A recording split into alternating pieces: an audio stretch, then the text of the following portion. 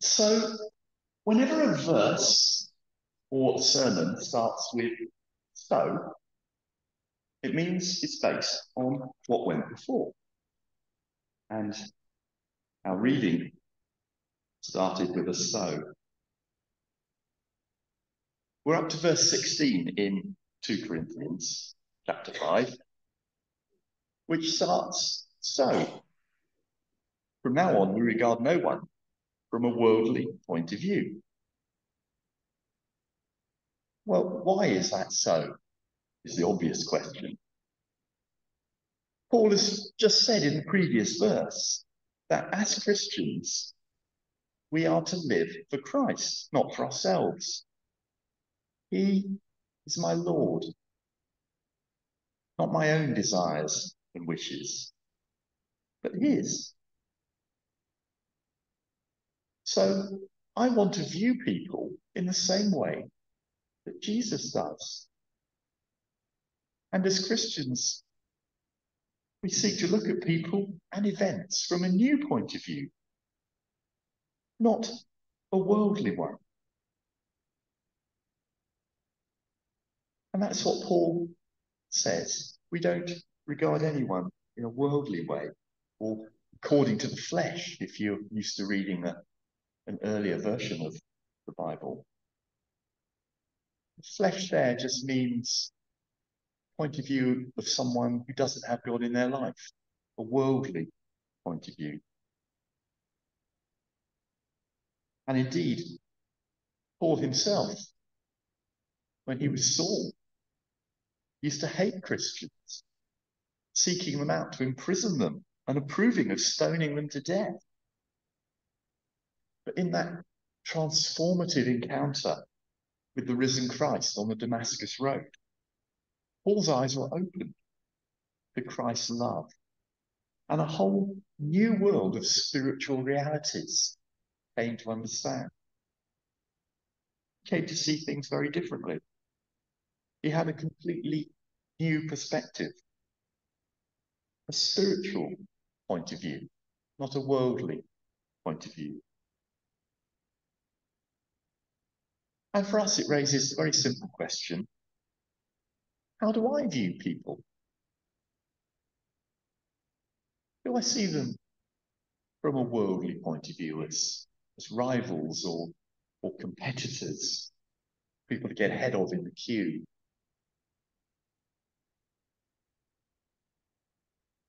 People I have to overcome, get things my way. Or are they people like me? Do I see them in a new way as people like me who's been called by our loving Father to live in his kingdom? Some of whom, hopefully many of you here, have already responded to that call.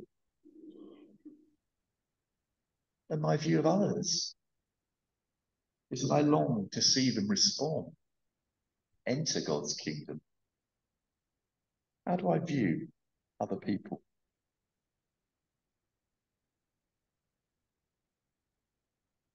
Well, in the next verse, we, we have not just a so that we have to look back for, but we have a therefore.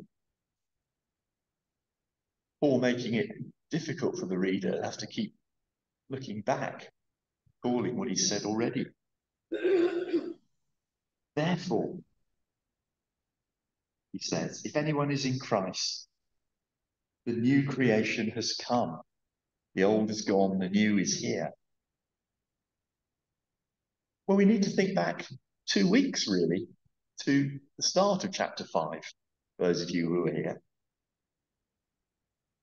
where Paul explains that as Christians, we look forward to a new resurrection body and a future home with God in glory.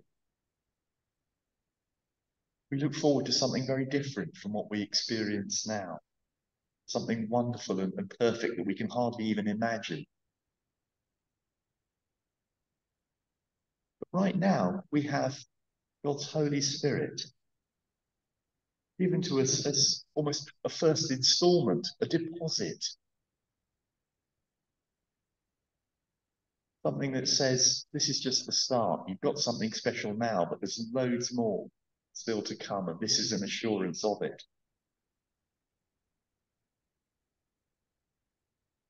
Therefore, Paul says, and literally in the, in the original Greek it reads, if anyone is in Christ, new creation.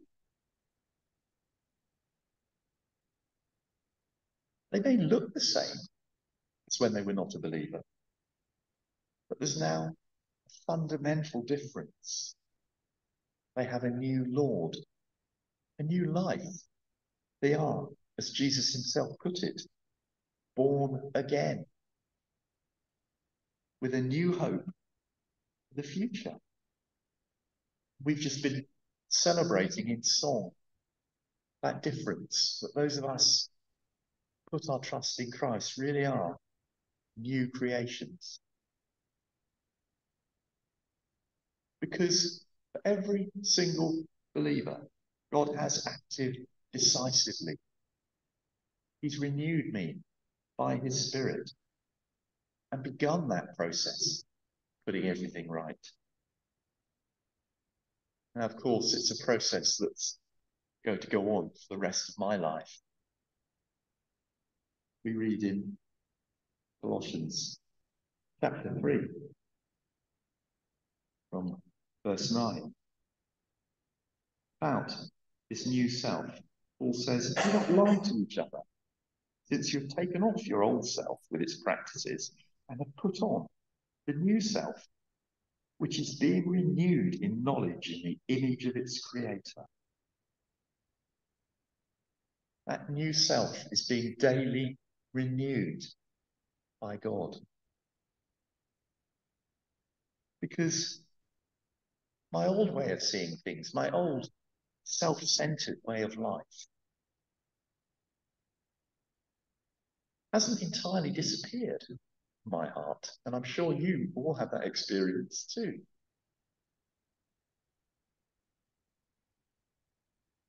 We know that struggle between the promptings of the Spirit in our conscience and our own worldly desires.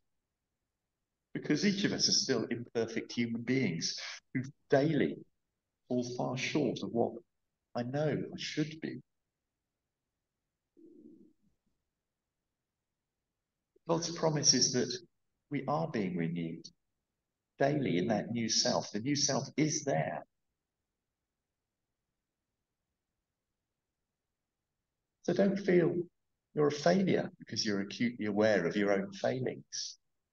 On the contrary, that's a sign that the Spirit of God is at work in your heart, illuminating it.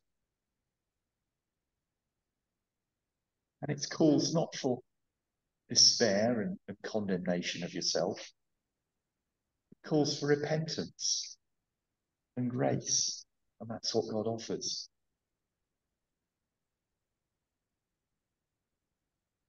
So where does this new life come from? Well, in verse 18, Paul says, All this is from God. Reconciled us himself through Christ. Of course, it comes from God because I can't put myself right with God. I can't bear myself in you. I can't be born again by my own efforts. I need God enter into my life to do that. God who reconciled us to himself through Christ. People who are enemies need reconciling, bring them back into fellowship to make them friends again.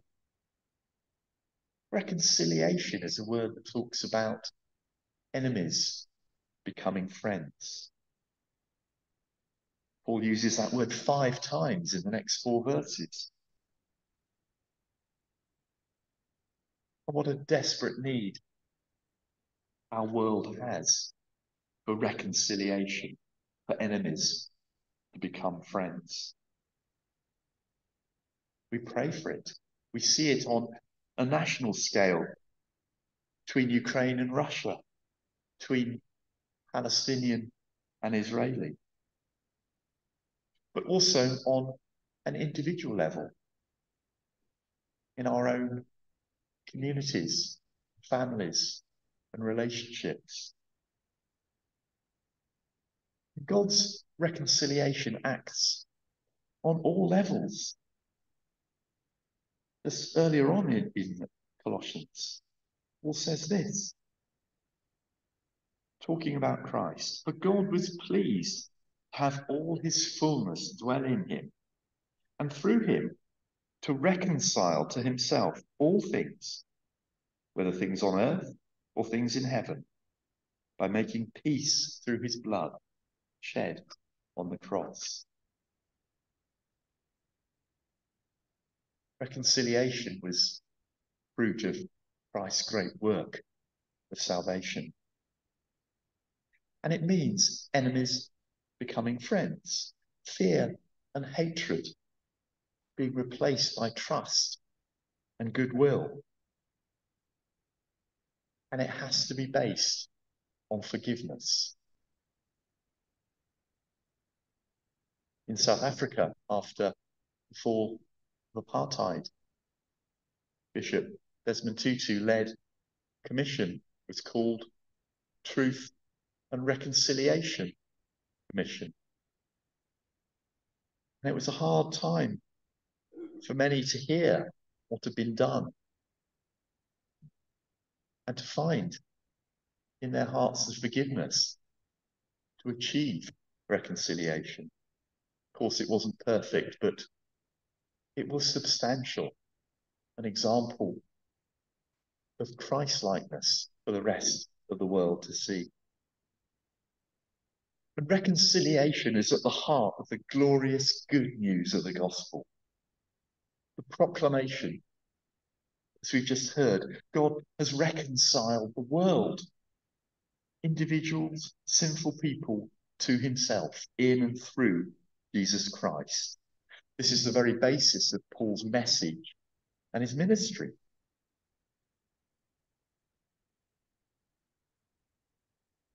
How is this achieved? How can this be? How did God reconcile all things to himself? Well, in verse 19, we read, God was reconciling the world to himself in Christ, not counting people's sins against them. Or does that mean God's just saying sin doesn't really matter? I won't count it against you. I won't count it anymore.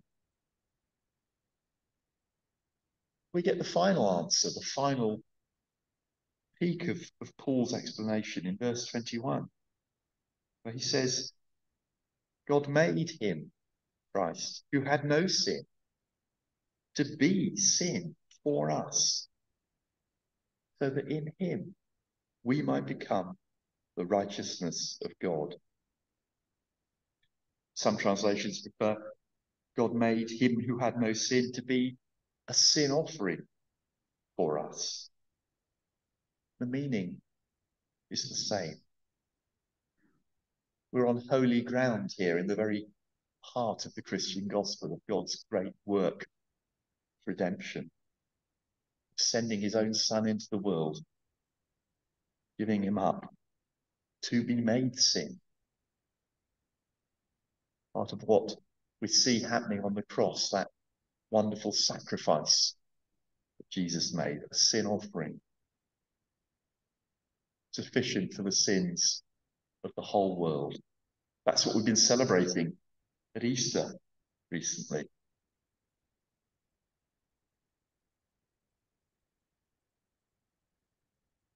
And this is the central mystery and glory of the Christian faith. That's why our symbol supremely is the cross. Jesus taking my place and your place, bearing the condemnation, the suffering. So we were singing even the wrath of God against all that is wrong and sinful and unholy. Doing it so that in Him, as we put our trust in Him, as we give up our own efforts to please God, as we repent, place ourselves into Christ's hands, we are forgiven, reconciled to God, made, made pure in His sight, made fit to be part of His family, able to know Him as the loving Father that He is.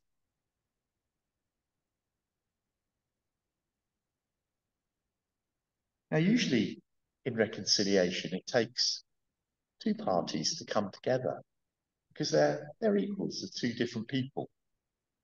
But we're not God's equals. So it needed God to take the initiative. And that's exactly what he's done. He has reconciled the world to himself. But it needs each individual within that world to accept that reconciliation, to make it a reality in their lives, become that new creation they could and should be. Needs a response. So Paul didn't want the Corinthians, and I'm sure he wouldn't want us to just sit around praising God and, and delighting in his reconciling love. I mean, yes, we should do that, and we do. But we also want to share this glorious news. Invite and urge and implore other people to be reconciled to God. And of course, this means telling them that they need to be reconciled. That they, at the moment, are enemies to God. And that's often not a popular message. It's not something people want to hear. Our society encourages people to build up their own self esteem, see themselves as, as deserving good things. So the message that you're separated from God, and however hard you try, however good you are, you cannot, through your own efforts, make yourself worthy to stand in his presence, to stand in the presence of a, a blazingly pure and holy God. Well, it's often not what people want to hear. To appreciate the good news of the gospel, you need to be aware of the bad news that goes before it. But when the Spirit of God is at work in someone's heart, bringing them to see their true situation before God, then they can be ready to grasp the Saviour's outstretched hand, to repent, put aside all human pride and merit and efforts, and trust solely in the risen Christ the Saviour and Lord. And if you're here this morning listening and you're not a Christian, quite simply as Paul did, I implore you, be reconciled to God. And if you're not yet ready to take that step of faith, then spend more time with God's ambassadors.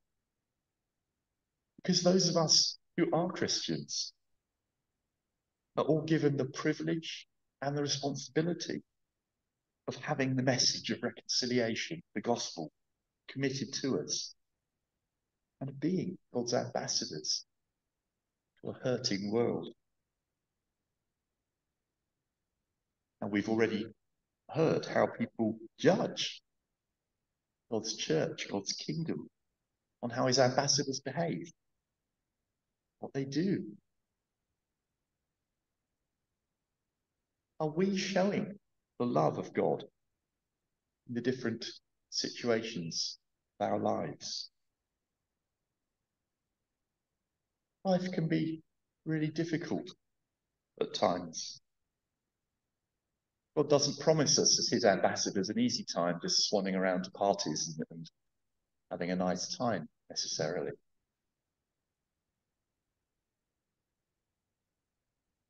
We're not promised lives free of heartache or suffering. And indeed, sometimes it can even feel like God is our enemy.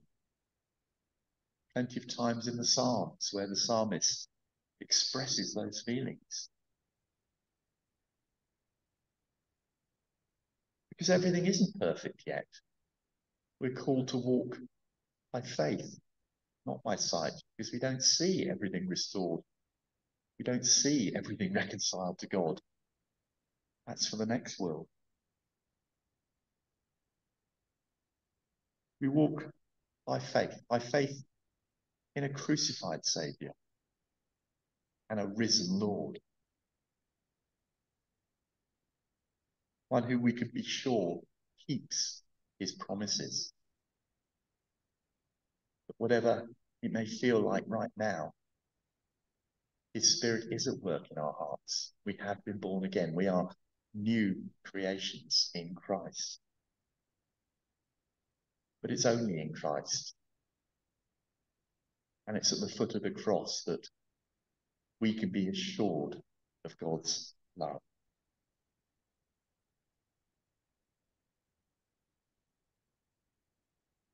So let's pray and live and work for that reconciliation to be evident in our lives, in our relationships, in our communities. Really, it's what we call revival. It's what we long for. To see the Lord at work and glorified in hearts and lives and minds. Let's open our hearts to be the start of that process, to be renewed by His Spirit.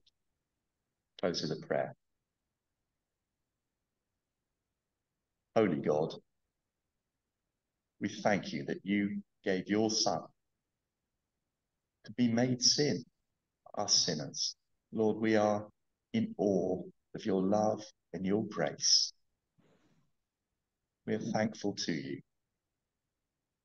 And we pray that that same love might be shed abroad through us as your ambassadors. You might be glorified and that the world might see that you are a reconciling God and know your love. In Jesus' name we ask. Amen.